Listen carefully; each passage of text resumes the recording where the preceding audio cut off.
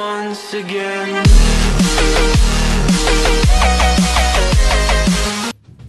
Welcome back to another Cheapo Multimeter review. Yes, Cheapo Multimeter review time. My favorite time. And I know it's your favorite time too. I cannot get over just how popular these Cheapo Multimeter reviews are. You guys just love them. And you know what? I'm happy because so do I. Gosh, I love multimeters and especially cheap ones.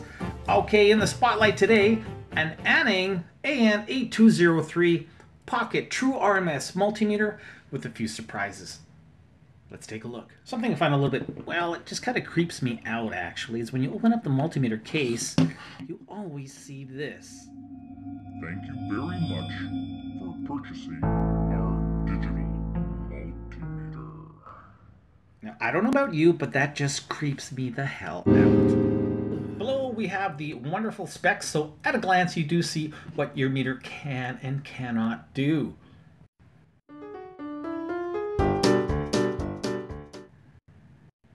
Um, no. Sorry, you can't walk. This Aneng did not ship with a box. It strictly came in a crappy piece of bubble wrap, and it did come with user manual. Manual is very verbose, very um, to the point. Not much going on here.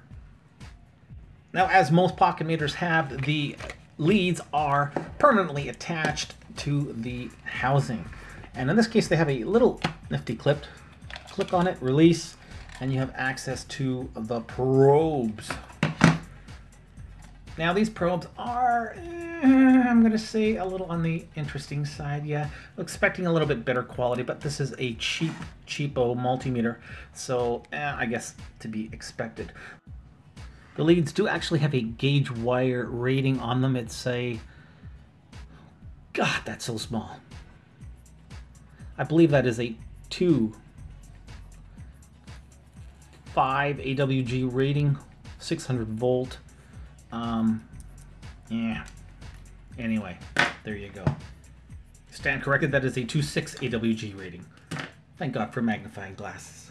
On the front, we do see the different cat ratings. We see 500 volts max, and they also say ACDC 600 volts max. Hmm, maybe somebody didn't get the memo.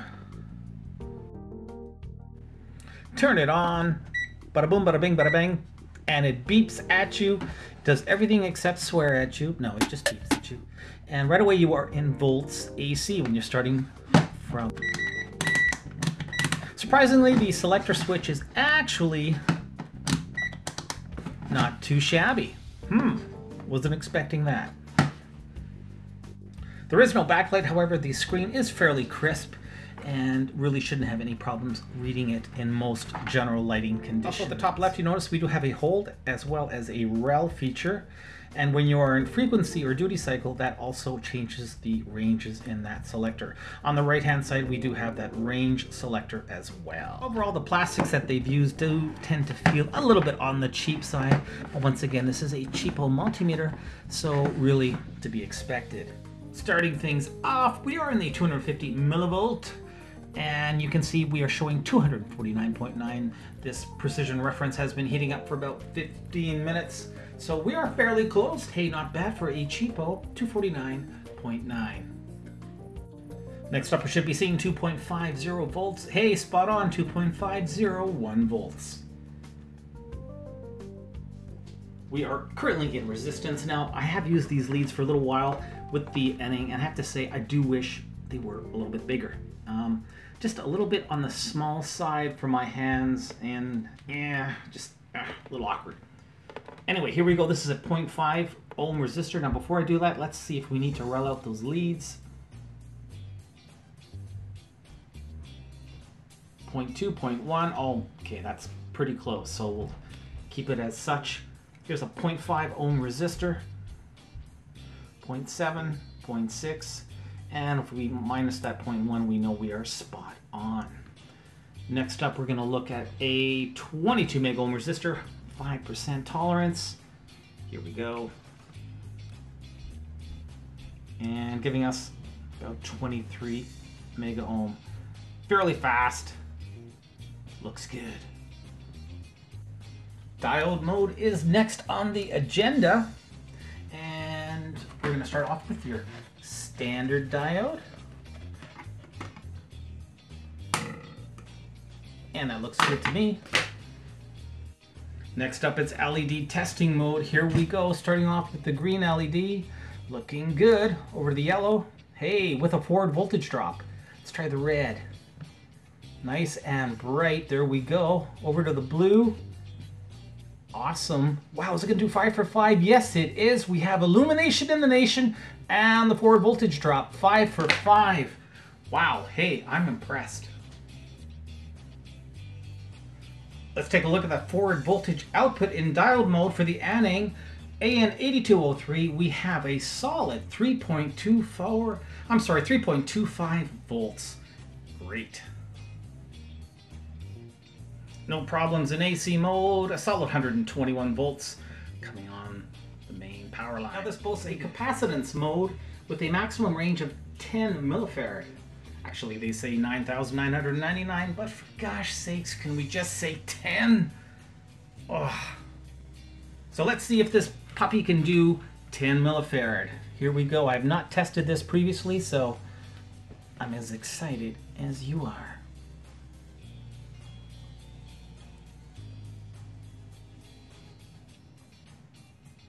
Alrighty, it is searching. We are getting that visual indicator, which is nice.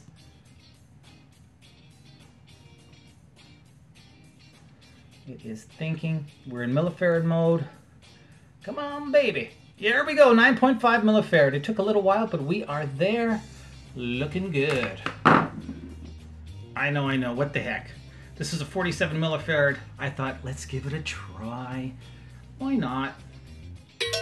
Oh my god. Hey, check that out. It worked. I'm a little shocked. But uh, it can read a 47,000 microfarad or 47 millifarad cap. And 42.8... 44.23. Awesome. Let's... Uh, wow. I'm impressed.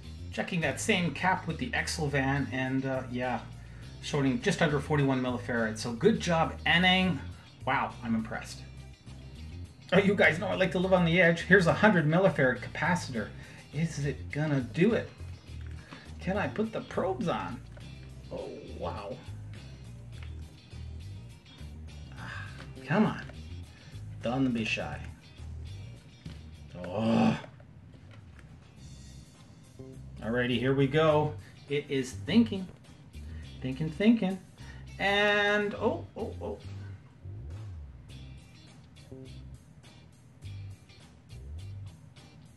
Can it, can it, can it, can it, can it? We are out of luck, folks. Okay, well, you know what? Hey, we tried, right? You know what?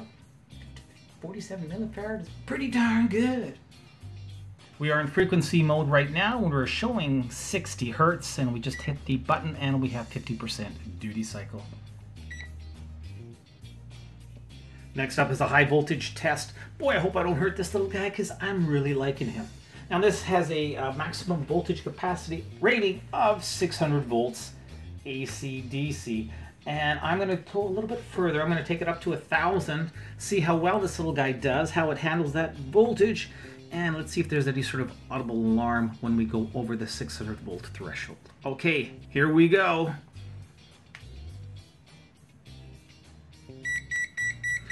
Just over a thousand volts, and we are getting that high voltage alarm. Try that one more time. Awesome. So no pop, snap, crackle, pop. And hey, I'm impressed. Next up, it's continuity time. Here we go.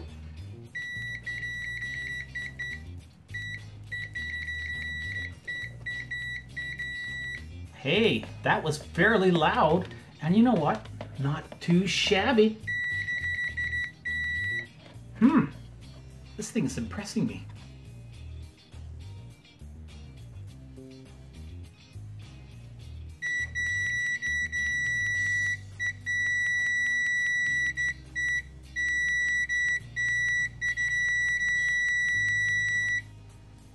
Seventy-three point one is the decibel rating for the Aneng AN8203. That is the highest decibel rating thus far. This Aneng has really surprised me, surprisingly. Now it's time to go under the hood. To open up the battery compartment, we do have that one Phillips screw right here.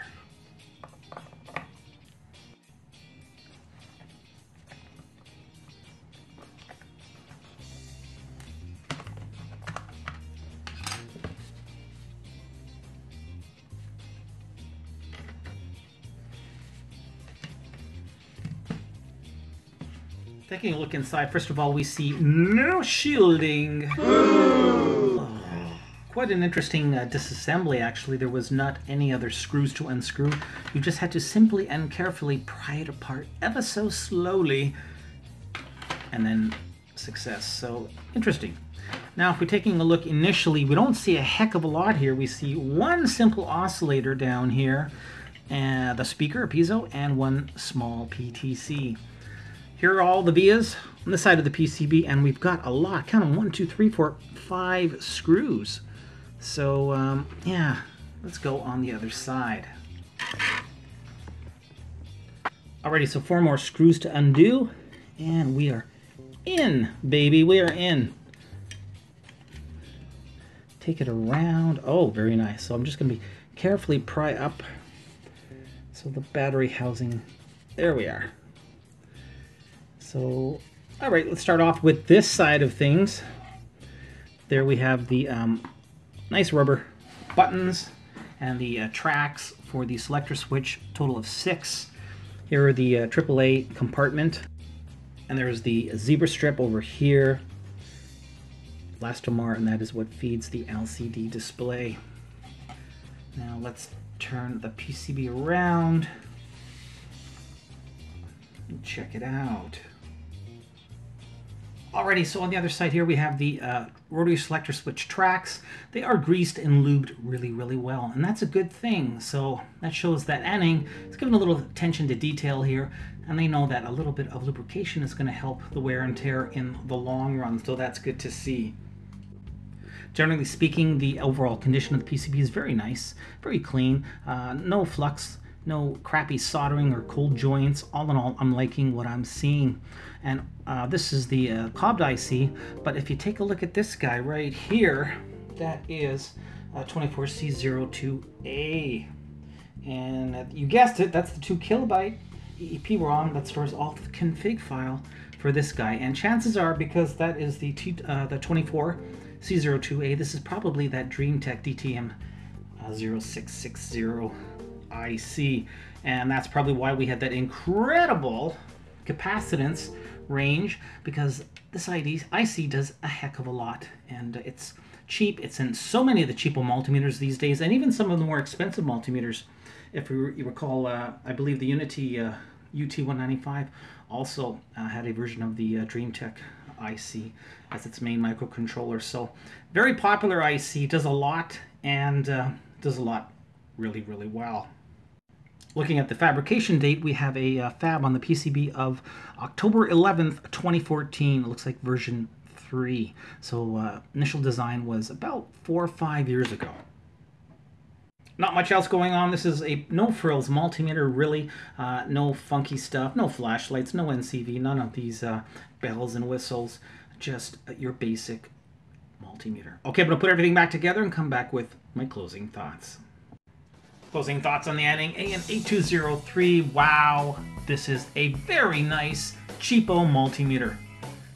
What can I say? It did that amazing capacitance range of 47 millifarad, only rated at 10 millifarad. Yeah, I did try 100 millifarad, no can do, but hey, you know what? Pushing 50 millifarad five times its own uh, rated capacity is great. It's also super cheap in terms of battery consumption. We're talking about 2.1 milliamp hours. It works out to about 400 hours of battery life on a good day. 300, 350 at a minimum. Can't argue with that. Now, yeah, it does not do current, not even milliamps. Kinda sucks, I know, but it is what it is. It's a really good, accurate little pocket multimeter, well built with a pretty decent IC, and hey, I've got nothing bad to say about it. I'm going to give the Aneng AN8203 a solid 4 out of 5 stars. Keep those comments coming. Any questions, queries, you name it, please drop me an email. I'm always ready for a chat. Till the next time, keep on testing.